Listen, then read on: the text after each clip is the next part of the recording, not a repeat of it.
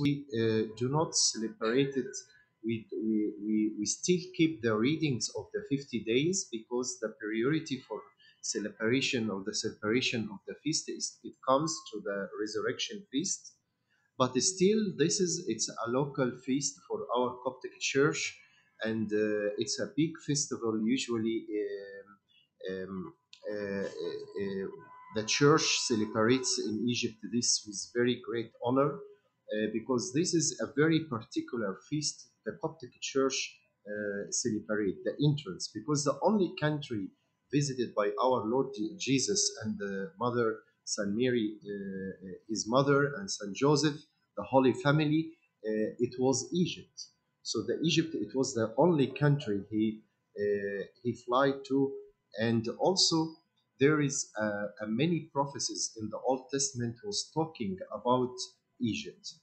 Especially, I can invite all of you tonight to read the uh, chapter Isaiah, chapter 19, because uh, Isaiah chapter 19 is full of many prophecies about Egypt.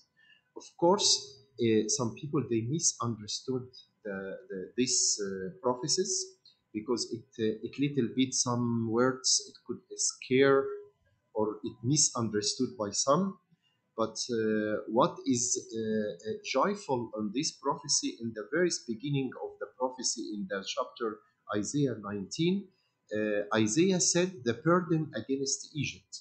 Behold, the Lord rides on a swift cloud and will come into Egypt.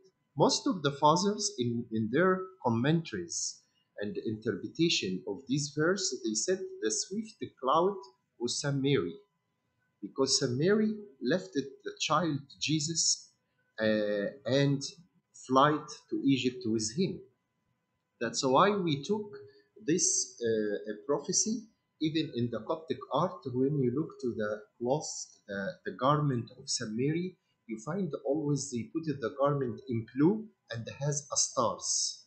Because why it has a stars? We call Saint Mary as a second heaven the place where the God uh, lives is heaven. And when he was incarnated and became a little child, he came through Saint Mary. So Saint Mary became like a heaven for him. So that's why her garment also in any of the icons you find has stars. Um, so it says here, behold the rides on a swift cloud, uh, and will come into Egypt the idols of Egypt will totter at his presence, and the heart of Egypt will melt in its midst. And if if you see here, the idols of Egypt will totter at his presence, and this is according to the Pope Theophilus manuscript, because the one who narrated the whole trip, you can find it online to read it more in details. The manuscript of Saint Theophilus, the Patriarch 23rd he wrote about the flight, uh, the, the visit of the Holy Family to the land of Egypt in details. Where did they go? Where did they stay? Where did they do in land of Egypt? But most of the tradition, they said that when they entered from place to place, the, um, the, the idols uh, got totter at his presence and destroyed. That's why when he entered a place, and then happened this for an idol's temple, the people of this city or village, they kick them out. So they go to another place, go another place until they come to uh, the uh, middle of the Egypt, which is now located Saint Mary el Muharrak Monastery. And if you go for the last of the chapter, it says also um, there is an altar will be in the middle of land of Egypt, which is the altar of uh, uh, of the monastery now, and whom the Lord of hosts shall bless, saying, "Blessed is Egypt, my people, not everyone." He said, "My people," and in Arabic we say shabi. Shabi, it's not shab. You find in pronunciation in Arabic, shab, it means all people. But shabi, it's a, particular people, even in Arabic.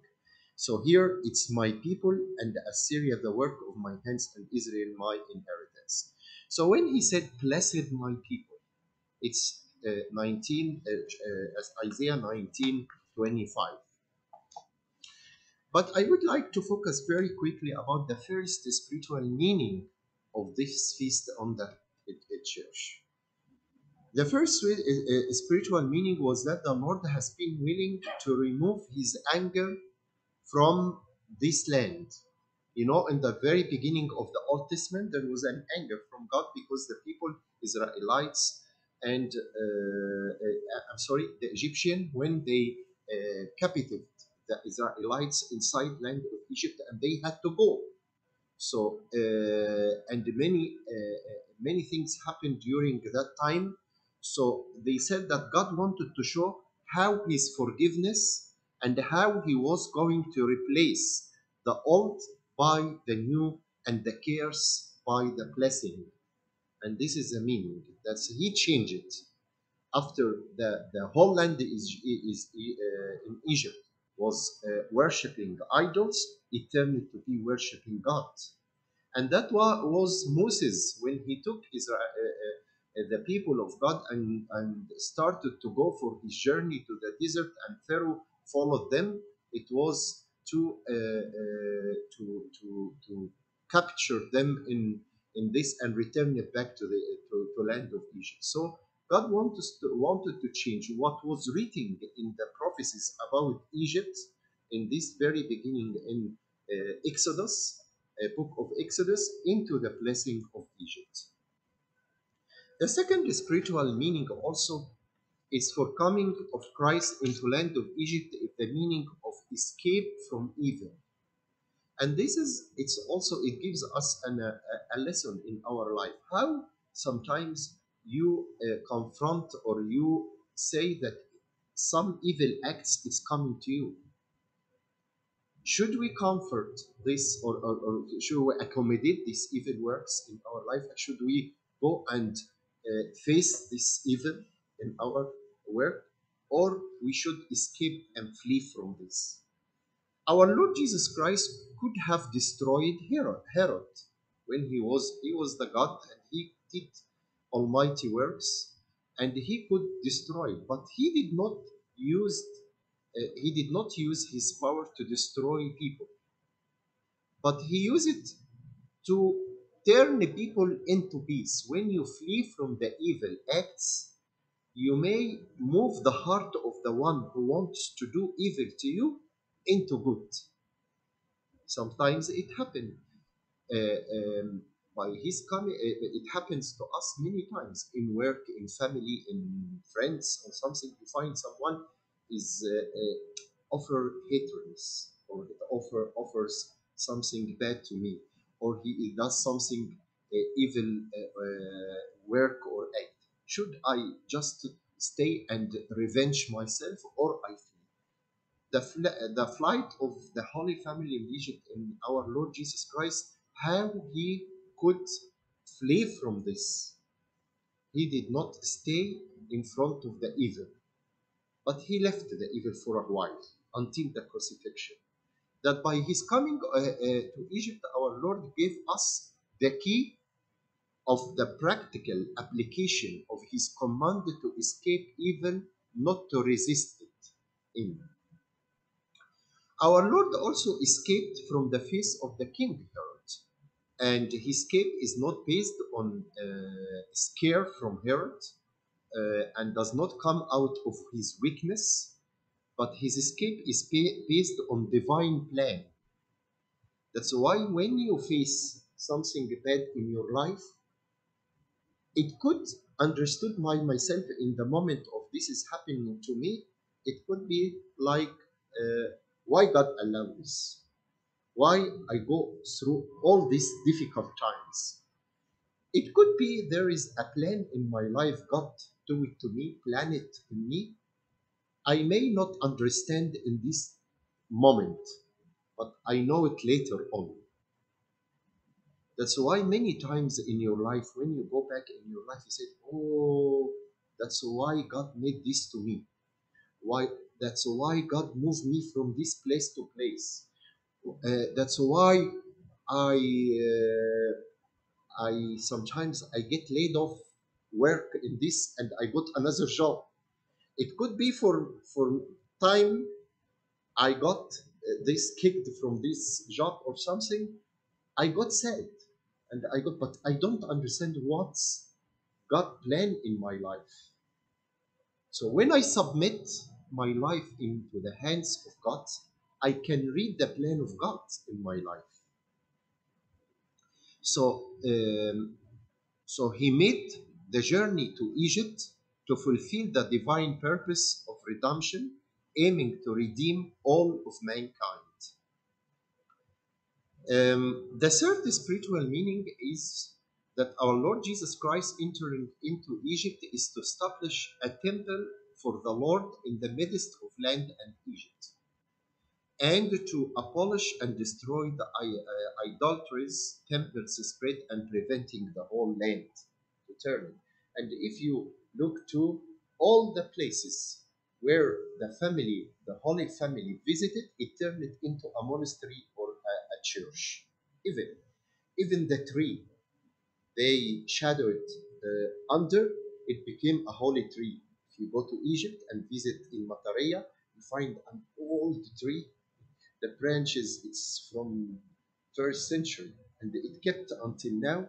And they said that the Holy Family came and they stayed this, under this tree. You visited another place, you find a water well.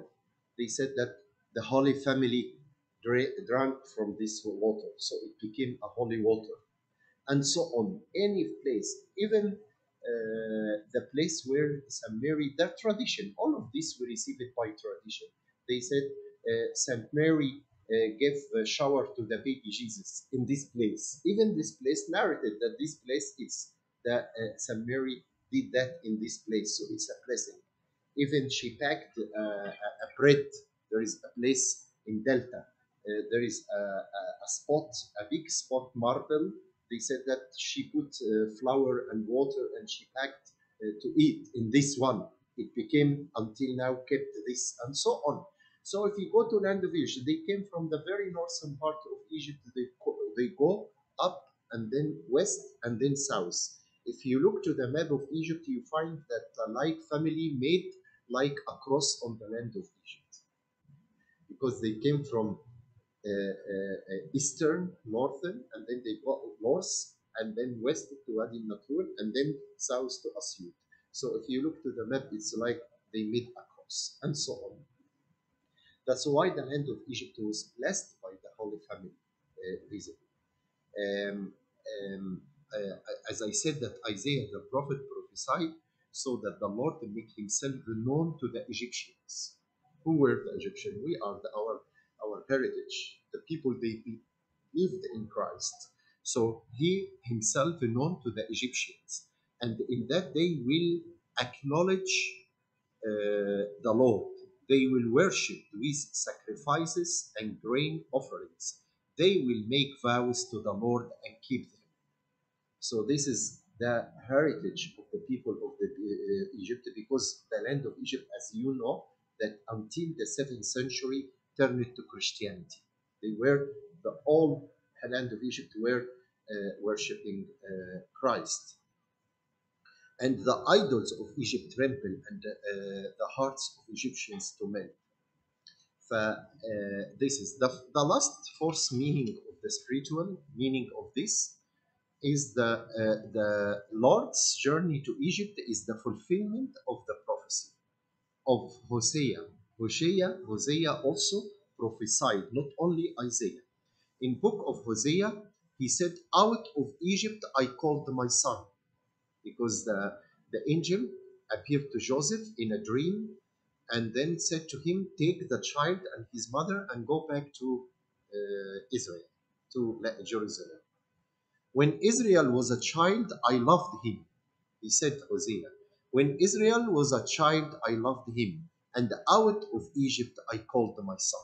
So he called his son from Egypt.